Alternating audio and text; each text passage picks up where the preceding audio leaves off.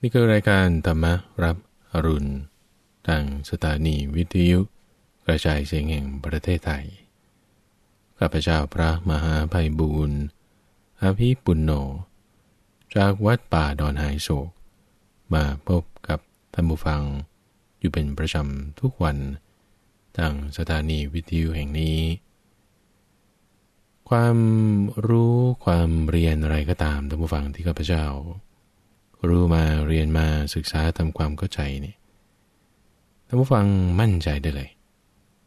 มั่นใจได้เลยว่าข้าพเจ้านั้นไม่ได้คิดเอง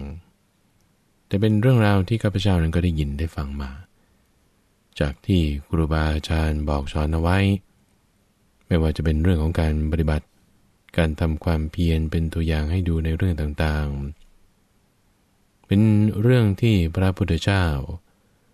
บอกสอนไว้มีหลักฐานมาในพระไตรปิฎกให้มีความมั่นใจได้เลยที่น้ฟังสามารถจะมีความมั่นใจในข้อนี้ได้ เพราะว่าตัวข้าพเจ้านั้นมีความมั่นใจ มีความมั่นใจลงใจ เลื่อมใส ในสิ่งที่พระพุทธเจ้าท่านได้บอกสอนไว้ ด้วยปัญญาอันยิ่งของท่าน เพราะว่าข้าพเจ้านั้นมีความมั่นใจ มีความเลื่อมใสมีความลงใจในการตรัสรู้ ในสิ่งที่ท่านบอกสอนนั้นท่านรู้จริง ๆ เพราะว่ามีความมั่นใจในการปฏิบัติ ไม่ว่าใครก็ตามที่ปฏิบัติ ตามคำสอนที่ประกาศบอกไว้ในรายละเอียดอย่างดีงามครบถ้วน ทั้งในข้อมูลเบื้องต้นท่ามกลางที่สุดทำได้ปฏิบัติได้จริง ๆ รก็ตามก็สามารถทำได้ปฏิบัติได้ ให้ผลได้เหมือนกัน ตัวข้าพเจ้ามีความมั่นใจแล้ว สิ่งที่พูดบอกออกไป ให้ท่านผู้ฟังฟังนั้น ก็เกิดจากความเข้าใจความมั่นใจการปฏิบัติเหล่านี้เหมือนกันท่านผู้ฟังเมื่อได้ฟังเรื่องราวต่างๆ เหล่านี้แล้วพอดีก็จะได้ยินได้ฟังสิ่งที่เป็นเรื่องใหม่ ๆ บ้าง ยังไม่เคยได้ยินได้ฟังมาก่อน เรื่องราวไหนได้เคยได้ยินฟังมาบ้างแล้ว ก็จะทำให้มีความเข้าใจมากขึ้น จะสามารถทำสัมมาทิฏฐิทำการปฏิบัติให้มีความก้าวหน้าเห็นจริงได้ มีความรู้เป็นญาณเกิดขึ้นในจิตใจของเราได้ ในแต่ละสัปดาห์ท่านผู้ฟังข้าพเจ้าก็จะนำประสูตร เรื่องราวนี้มาอ่านให้ท่านผู้ฟังฟัง เป็นเรื่องสั้นบ้าง เป็นเรื่องยาวบ้าง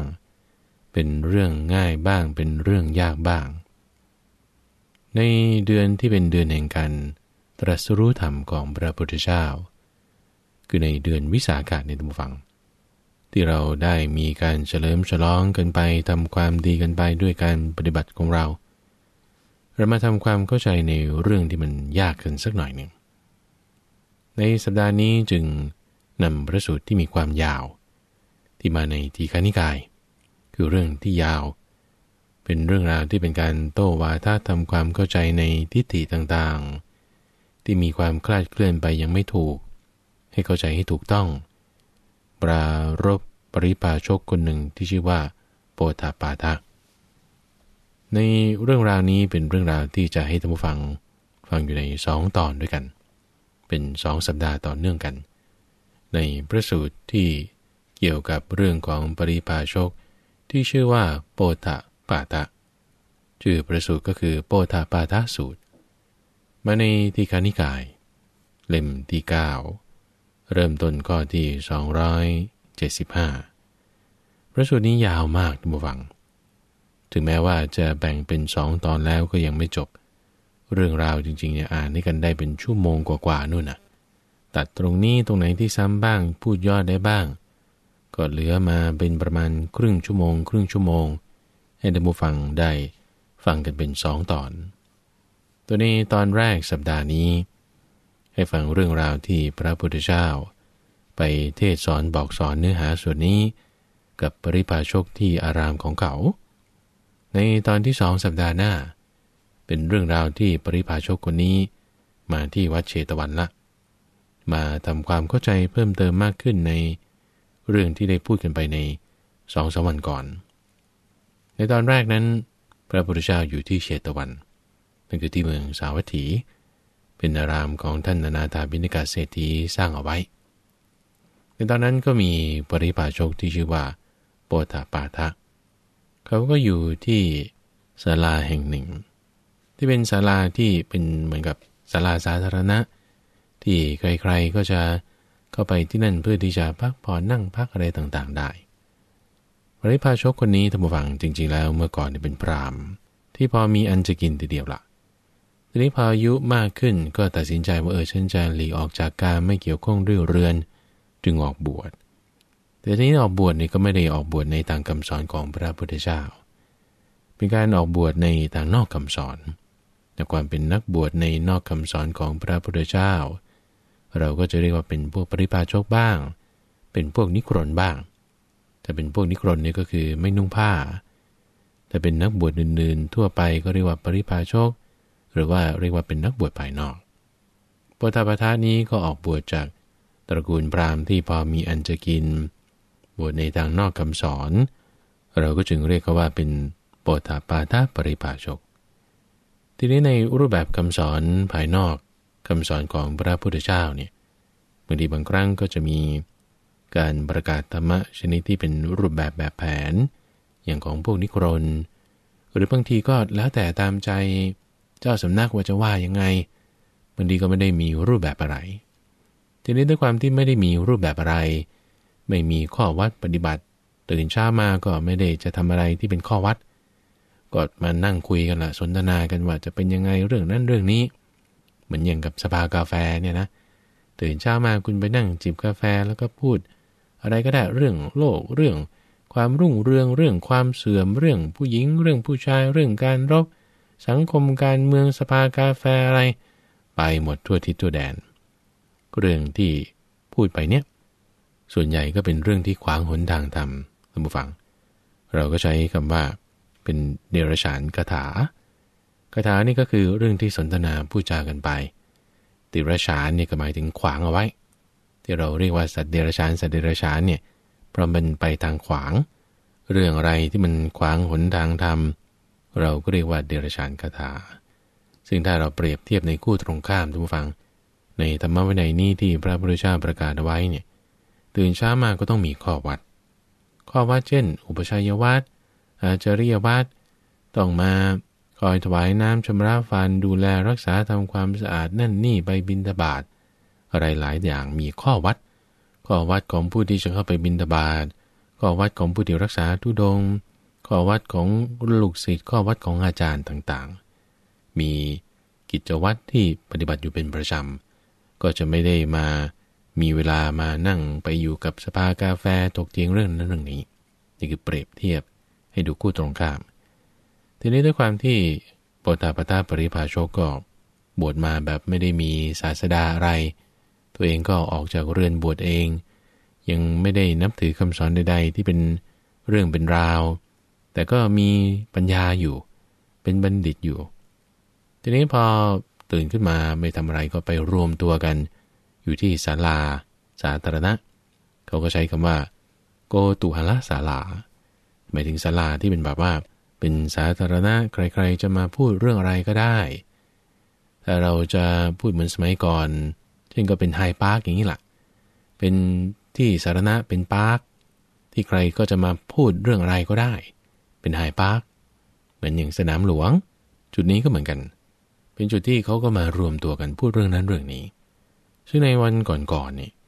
พระพุทธเจ้าของเราท่านผู้ฟังได้แสดงธรรมเกี่ยวกับเรื่องของ ทุกขนิโรธ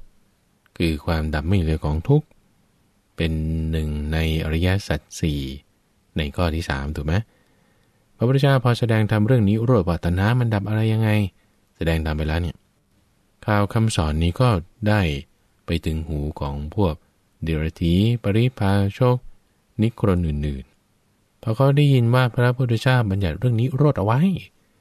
บัญญัติเรื่องความดับไม่เหลือของทุกเอาไว้ แต่ซึ่งพระพุทธเจ้าบัญญัติแน่ละสี่อย่างถูกไหมอริยสัจสี่บัญญัติเรื่องทุกบัญญัติเรื่องเหตุให้เกิดทุกข์คือสมุทัยบัญญัติเรื่องความดับไม่เหลือของทุกข์คือทุกขนิโรธและบัญญัติเรื่องการดำเนินให้ถึงความดับไม่เหลือของทุกข์เอาไว้ ทีนี้พอได้ยินข่าวว่า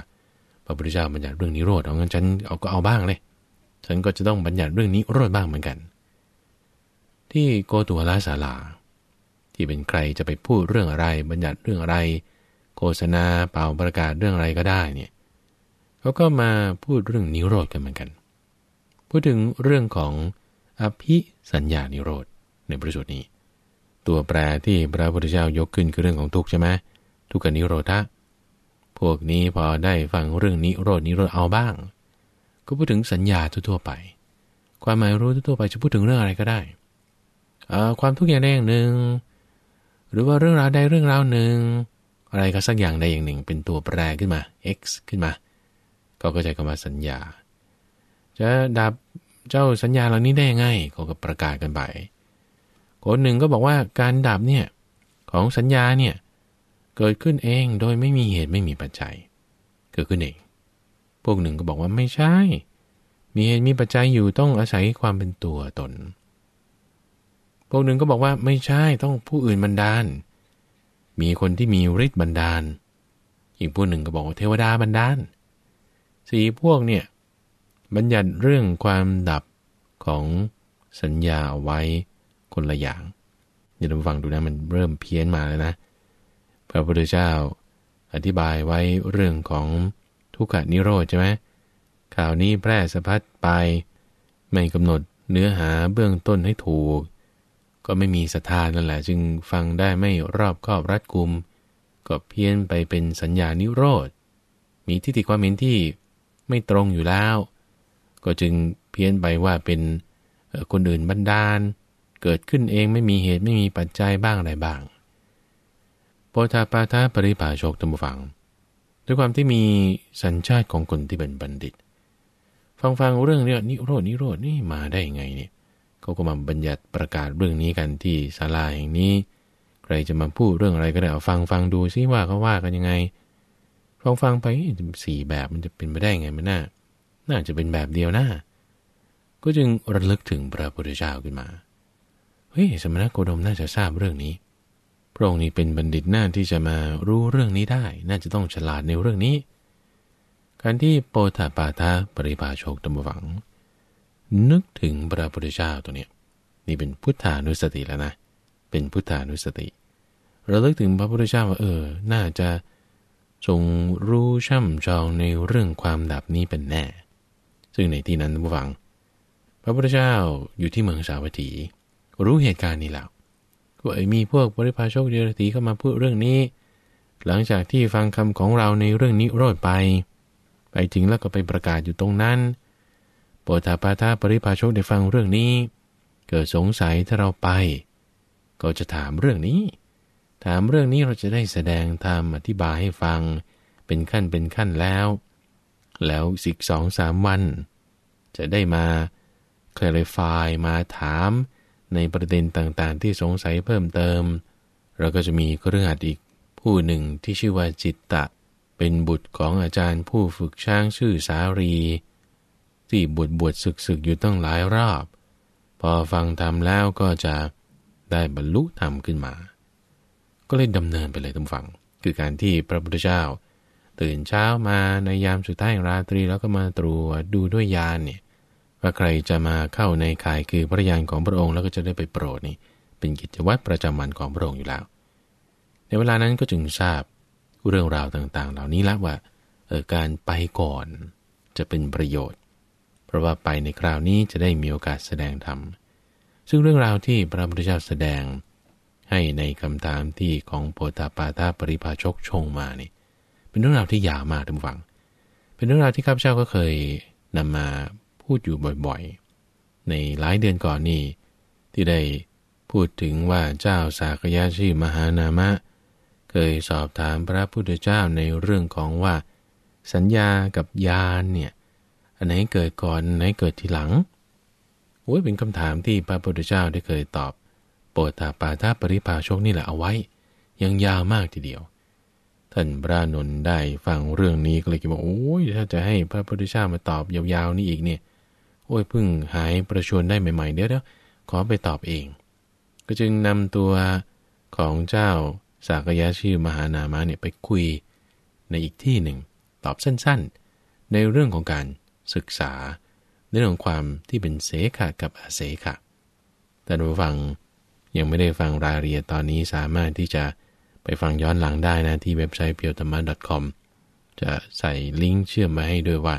เป็นเนื้อหาเดียวกัน ทีนี้รายละเอียดเดิมเนื้อหาเดิมเนี่ยก็มาจากพระสูตรตรงนี้แหละจริงๆ เป็นเรื่องที่ไม่ยากทุกฝัง เพราะว่าเราสามารถทำความเข้าใจให้เป็นไปตามลำดับกันได้ ท่านผู้ฟังที่ฟังตัวแม่บทมาตั้งแต่วันก่อนเนี่ยอาจจะคิดว่าโอ้เป็นเรื่องอะไรที่ยาวมากเลยฟังแล้วคำก็สับสนทบทวนกันไปซ้ำกันไปซ้ำกันมาเนี่ย แต่จริงๆถ้าเราฟังดีๆทำความเข้าใจเป็นขั้นเป็นตอนเนี่ยจะไม่ยาก เอาศัพท์ก็มาอภิสัญญานิโรดนี่ก่อน แล้วก็มาจากนิโรธคือความดับที่พระพุทธเจ้าบัญญัติไว้ในเรื่องของทุกขนิโรดนี่แหละ มันมาเพี้ยนไปตรงนี้ ทีนี้จะทำให้เกิดความดับยังไง วกที่เขามีทิฏฐิความเห็นที่ไม่ถูกต้องเขาก็บัญญัติกันของเขาไปแต่เกิดเองบ้างไม่มีเหตุไม่มีปัจจัย ต้องอาศัยความเป็นตัวตน คนนี้เข้ามาทำถึงได้ คนนี้เข้ามาทำไม่ได้ บันดาลได้เป็นแบบนั้นแบบนี้โปตาปาตาปริปาโชคด้วยความที่ตนเป็นบัณฑิตก็ยังไม่ลงใจเชื่อร้อยเปอร์เซ็นต์คิดว่าเออจะมาถามพระพุทธเจ้าซะก่อน ได้โอกาสในวันนั้นพอดี ก็จึงถามตัวนี้แหละว่าเรื่องอภิสัญญานิโรธเนี่ยเป็นอย่างไรท่านผู้ฟังฟังตัวนี้ดี หัวข้อที่พระพุทธเจ้ายกในที่นี้ท่านบอกว่า สัญญาอย่างหนึ่งย่อมเกิด เพราะการศึกษา สัญญาอย่างหนึ่งย่อมดับ เพราะการศึกษาคำนี้นะ เป็นหัวข้อนะ คนที่ฉลาด เช่น ท่านพระอัญญาโกณตัญญาท่านพระอานนท์ท่านพระสารีบุตรเนี่ย ถ้าบอกว่าท่านได้ยินแค่หัวข้อตรงนี้ว่า สัญญาอย่างหนึ่งย่อมเกิดเพราะการศึกษาสัญญาอย่างหนึ่งย่มดับเพราะการศึกษา โอ้ยท่านจะปิ้งขึ้นทันทีจะเก็ตเลยโอ้มันเป็นอย่างนี้เพราะเกิดได้ดับได้เพราะมีเหตุมีปัจจัยบ่มบ่มบ่มบ่มความเข้าใจนี่จะเป็นร้ายในยะแตกบุบบุบบุบออกไป ปัญญาของคนไม่เท่ากันนะฟัง ถ้าข้าพเจ้าพระมหาไปบุญฟังแค่นี้ว่า สัญญาอย่างหนึ่งย่อมเกิดเพราะการศึกษาสัญญาอย่างหนึ่งต้องแบบเพราะการศึกษาเนี่ยเราก็จะ ศึกษาเนี่ยคืออะไรศิกขาใช่ไหมมันน่าจะไปยังไง ก็จะแบบได้บ้าง แต่ไม่ลึกซึ้งทีนี้พระพุทธเจ้าอธิบายไว้ทุกฝัง พระองค์เนี่ยเป็นผู้ที่แจกแจงเอาไว้ ยังไงยังไง แต่ว่าเกิดขึ้นดับไปเพราะการศึกษาสัญญาต่างๆนี่ยังไงยังไง สิ่งที่จะพูดต่อไปนี้ต้องฟัง ก็เป็นเรื่องที่เป็นการปฏิบัติไปตามลำดับ คือนำเรื่องของทุกขนิโรธคามนีปฏิปทา มาพูดมาตรัสบอกให้ฟังนั่นเองเป็นไปตามลำดับนะ เป็นไปตามลำดับของมรรคนั่นเอง เริ่มมาจากตั้งแต่ว่า มีพระพุทธเจ้าอุบัติขึ้น มีพุทโธเกิดขึ้นแล้ว มีพุทโธเกิดขึ้นก็มีการแสดงธรรม มีธรรมโมเกิดขึ้นด้วย มีพุทโธมีธรรมโมเกิดขึ้นและมีผู้ฟังธรรม โอ้ยคิดว่าจะปฏิบัติให้เต็มที่ละ ผู้ที่ฟังธรรมนั้นก็จึงออกบวช ออกบวชแล้วปฏิบัติอย่างเต็มที่ในศีล เรื่องของจุลศีลมชิมศีลมหาศีลนั่นเกิดเป็นสังโฆเกิดขึ้นละมีพุทโธมีธรรมโมมีสังโฆเกิดขึ้น นี่คือสามอย่างที่สำคัญเลยนะ มีรัตนะเกิดขึ้นแล้ว แล้วผู้ที่มีการปฏิบัติดีปฏิบัติชอบ คือเป็นสังโฆเนี่ยเป็นหมู่เนี่ยก็มีการปฏิบัติไปตามเรื่องของศีล ในที่นี้พระพุทธเจ้าก็ยกเรื่องของจุลศีลมัชิมศีลมหาศีล คือศีลที่เป็นไปเบื้องต้นแห่งปรมจรรย์เลย เป็นศีลที่แบบยิ่งใหญ่ดีมาก พอมีอริยศีล แบบนี้แล้ว ก็เป็นพื้นฐานที่จะทำให้เกิดศีลที่เป็นไปเพื่อสมาธิเกิดเราต้องการทำสมาธิให้เกิดขึ้นใช่ไหมเราก็ต้องมีข้อปฏิบัติที่เป็นปกติ ที่จะเป็นตัวเอื้อประโยชน์ให้เกิดสมาธิ นั่นก็เรียกว่า ศีลที่เป็นไปเพื่อสมาธิ มีการสำรวมินทรีย์ มีสติสัมปชัญญะ มีการอยู่สันโดษ แล้วก็มีการเสพเสนาสนะอันสงัด ในบางนัยยะก็จะเพิ่มเรื่องของการนอนยามเดียว คือชาคริยนธรรม ไม่นอนกลางวัน การประกอบตนยนธรรมมันเป็นเครื่องตื่น หรือบางนัยยะก็จะเพิ่มเรื่องของการรู้ประมาณในการบริโภค คือโภชเนมัตตัญยุตาเข้าไปด้วย แต่หลักๆก็ต้องมีการสำรวมอินทรีย์ การอยู่สันโดษการเสพเสนาสนะอันสงัดพวกนี้ อันนี้เป็นหลักๆที่ต้องมี พอมีศีลที่เป็นไปเพื่อสมาธิแล้ว ก็ละนิวรณ์ละนิวรณ์คือเครื่องกลางกันที่จะทำให้ไม่เกิดสมาธิ เครื่องกลางกันที่จะทำให้สมาธิถอยกำลัง มีความฟุ้งซ่าน มีความคิดไปในทางกามมีความคิดประทุษร้ายเป็นพยาบาท มีความง่วงซึม ขี้เกียจขี้คร้าน แล้วก็มีความเคลือบแคลงเห็นแย้งไม่หลงใจ พวกนิวรณ์ห้าเนี่ยละออกเสีย ในทั้งหมดตั้งแต่ไล่มาตั้งแต่เรื่องศีล สมาธิใช่ไหมท่านฟัง สมาธิก็ต้องคู่กับปัญญา ในเรื่องของปัญญาที่เกิดขึ้นในจากการที่เราละนิวรณ์ได้เนี่ยอันดับแรกเลยคือเราสามารถที่จะละกามสัญญา คือความคิดที่เป็นไปในทางกาม ที่จะเกิดมีขึ้นเพราะว่าเจ้านิวรณ์ต่างๆ คิดถึงความสวยความงามอาหารอร่อย ความสุขที่เกิดจากตาหูจมูกลิ้นกายพวกนี้ เราจะละได้ เราละสิ่งที่เป็นอกุศลธรรมอะไรต่างๆได้ จะมีความสุขมีปีติ ที่เกิดจากความวิเวกของความคิดในทางกามที่เกิดจากความวิเวกของความคิดในทางปฏิบัติหรือเบียดเบียนต่างๆ เหล่านั้นไอ้ความคิดที่ไม่มี การพยาบาทเบียดเบียนเนี่ยก็เรียกว่าเป็นความวิเวก เป็นวิตกวิจารณ์ที่ยังมีความวิเวกอยู่ในสิ่งนั้นพอมีปิติมีสุขสัญญาตรงนี้เกิดขึ้น สัญญาใหม่คือปีติสุขที่เกิดจากวิเวกเกิดขึ้น สัญญาเก่าคือการมสัญญาดับไป เรื่องนี้เข้าใจไม่ยากดำฝังอย่างเช่นว่า คนที่ไม่เคยมาฝึกปฏิบัติธรรม ไม่เคยมานั่งสมาธิเนี่ย เขาจะไม่เก็ตจะไม่เข้าใจเลยว่ามันนั่งสมาธิจะไปสุขยังไง นั่งเฉยๆหลับตาเนี่ยมันไม่ได้ทำอะไร สัญญานะ คือปีติสุขที่เกิดจากความวิเวกของเขาเนี่ยยังไม่มี สัญญานะคือการมาสัญญาที่ต้องไปกินไปเที่ยวไปดื่มไปเล่นเนี่ยมันจะสนุกกว่าเย้ยวๆเนี่ยมันดี การมาสัญญานี่ยังมีอยู่ ยังไม่ดับ ทีนี้พอไล่มาสิไล่มาตั้งแต่ศีล ศีลที่เป็นไปเพื่อสมาธิ รู้จักอยู่สันโดษรู้จักอยู่สงัดกำจัดนิวรณ์ได้นะจุดนั้นบึ้มเนี่ยเขาจะมีความสุขที่เกิดจากการไม่มีกามนั่นคือวิเวกแล้ว มีปีติมีสุขเกิดขึ้นสัญญาใหม่ตรงเนี้ยเขาจะรู้มีความเข้าใจว่าโอ้ใช่ สมาธิมีสุขแบบนี้ไอ้การมาสัญญาที่แบบว่าฉันจะต้องไปเที่ยวไปกินไปดื่มไปเล่นถึงจะมีสุขได้ การมาสัญญานั้นนันดับไปทันที สัญญาอย่างหนึ่งเกิดขึ้น เพราะการศึกษา สัญญาอย่างหนึ่งดับไป เพราะการศึกษาท่านผู้ฟังที่ฟังธรรมะมาอยู่เรื่อยๆเนี่ยจะรู้ข้อนี้ได้เป็นอย่างดี เออใช่ฉันฟังธรรมมันก็มีความสุขอยู่ในจิตใจเหมือนกันนะ ไม่ได้ต้องคิดว่า เรื่องนั้นจะเป็นยังไง ครอบครัวจะเป็นยังไง อาหารการกินจะเป็นยังไง อันนั้นวางไว้ก่อน นี่แหละคือการมาสัญญาเดินดับไป เห็นชัดๆเลยนะ ด้วยตัวเอง เออจะมีความสุขที่เกิดจากในภายใน ฟังธรรมะอยู่ เนี่ยมีวิเวกอยู่เออคิดไปตามไปใคร่ครวญไปตามเรื่องของธรรมะ มีวิตกวิจารใช่ไหมแต่ความคิดนั้นไม่ได้เกี่ยวเนื่องด้วยกาม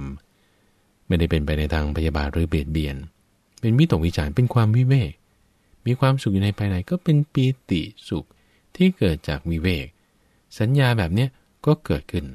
คำว่าสัญญาเราต้องฟังหมายถึงความหมายรู้ เราหมายรู้ว่าเออนี่เป็นสิ่งใหม่ที่เกิดขึ้น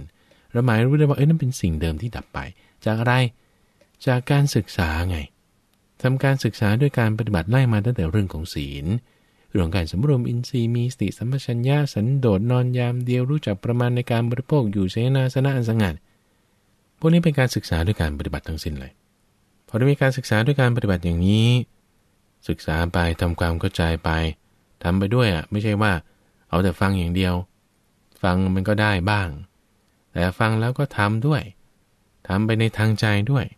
เป็นกายสังขาร เป็นวจีสังขารในเรื่องของศีล เป็นมโนสังการในเรื่องของทางใจทำมาปฏิบัติมาในใจ ไม่ใช่แค่ฟังอย่างเดียว แต่ปฏิบัติในใจด้วย ปฏิบัติแล้ว ตรงนี้แหละคือสิกขา สิกขานี่หมายถึงการศึกษาด้วยการปฏิบัติพอเราทำไปทำไป เราจะวางเรื่องของความคิดไปในทางกาม คือการมาสัญญาเนี่ยได้ มันจะดับไปเราจะไม่ได้ไปยินดีในความสุขที่เกิดจากกามมากละมันจะจางกลายไปลดลงไปละ คือการมาสัญญาดับไปละ เราจะเริ่มมารู้ถึงความสุขที่เกิดจากความสงบเย็นอยู่ภายในอันนี้คือมีปีติสุขที่เกิดจากวิเวกเกิดขึ้นละทีนี้พอเราทำให้มันละเอียดลงไป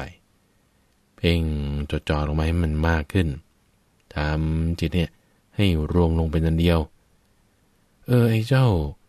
ปีติสุขที่เกิดจากวิเวกเนี่ย มันจะระงับลง มันจะดับไป ดับไปได้ยังไง ดับไปได้เพราะว่าเราปฏิบัติตามศีลสมาธิปัญญานี่ละมาตามเดิม คุณมาถึงจุดนั้นได้ยังไง ที่ว่าการมาสัญญาดับไปเนี่ยทำเหมือนเดิม นี่เรียกว่ามักแต่หวังมักแปลว่าทาง เดินตามทางเดิม ศีลรักษาให้ดียิ่งขึ้น มีสติสัมปชัญญะมากขึ้น มีอินทรีย์สังวรมากขึ้น สันโดษมากขึ้น อยู่ในเสนาสนะอันสงัดมากขึ้น นิวรณ์ละมันให้ได้ละเอียดขึ้นในทุกที่ทุกเวลาทำอยู่บ่อย